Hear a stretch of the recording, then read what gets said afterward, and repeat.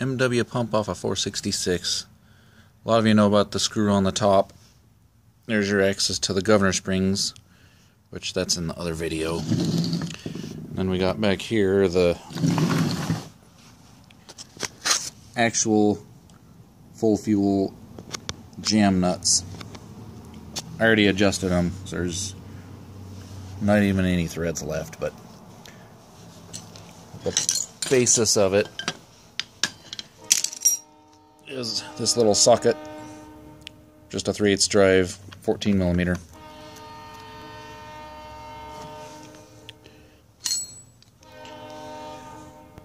Ten millimeter that'll fit down in there. This I had the 14 millimeter I had a buddy machine out so it'll fit all the way through. And also uh, flattened a few of the edges so I could put a wrench on it just to make it easier. But it is as simple as moving the jam nuts, loosen up the inner one, then back up the the big nut to get it to where you want it.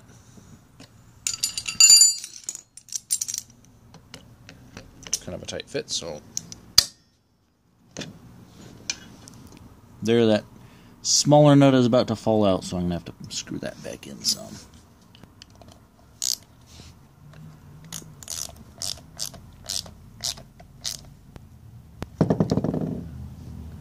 So right about flush with that stud is roughly just over 19 millimeters of rack travel, which is about all these pumps are good for.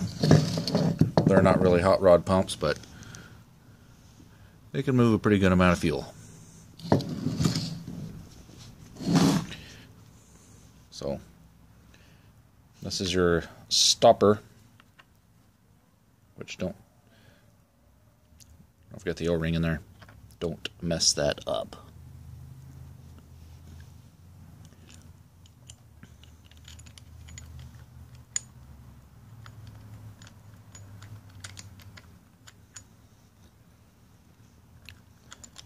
And luckily with this one, it had two regular slotted screws in it.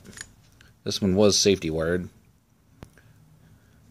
But on a lot of them, you'll see this is this one is going to be a tamper-proof screw like on the newer Dodges.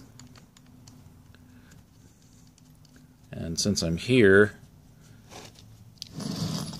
other fuel adjustments you might need to know about is that's your idle speed. You can see the jam nut at the bottom. And then your full load stopper here. You can adjust that in and uh, get even more travel because